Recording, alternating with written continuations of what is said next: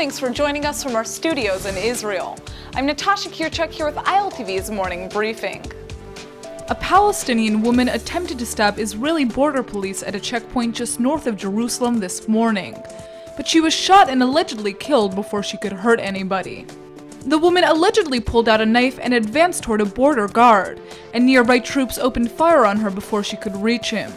Police claim they initially shot in the air, but she refused to stop and drop her knife, so they were forced to shoot at her. The woman was pronounced dead by paramedics at the scene, but she wasn't carrying any identification that indicated who she was. The attempted attack comes amid a major dip in the number of security incidents following months of almost daily terror attacks by Palestinians. 29 Israelis and 4 foreign nationals have been killed since October in stabbing, car ramming, and shooting assaults.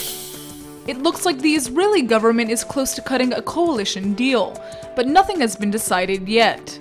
In a late night meeting, officials from the finance ministry worked with representatives of Avigdor Lieberman's Israel Beiteinu party in an effort to iron out remaining differences on the party's pension demands. If approved, Lieberman will become Minister of Defense. Talks to include the Israel Beiteinu party in the government have already stalled, but now a new obstacle has been raised by coalition partner Naftali Bennett and his Bayit HaYehudi party. While Lieberman is insisting on an agreement on pension reform for thousands of former Soviet immigrants, Bennett is insisting on the appointment of a military secretary for the security cabinet. Bennett says that his demand comes in light of lessons learned from the Second Lebanon War and the Gaza War, where he claims the security cabinet was not fully briefed.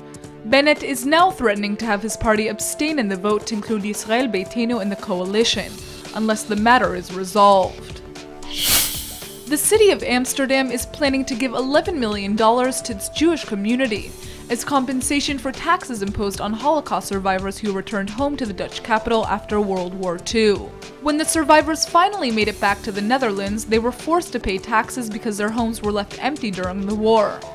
They were also made to pay back taxes for the years they had been taken away from Amsterdam. In 2013, a Dutch student discovered the taxes and demanded the city to make it right. Now Amsterdam will finally pay back the Jewish community as reparation. The city has suggested that the money should be put towards a Holocaust memorial monument or community programs. The Israeli-made app Houzz is the official winner of the first ever Google Play Awards, which focuses on the best Android apps in the world.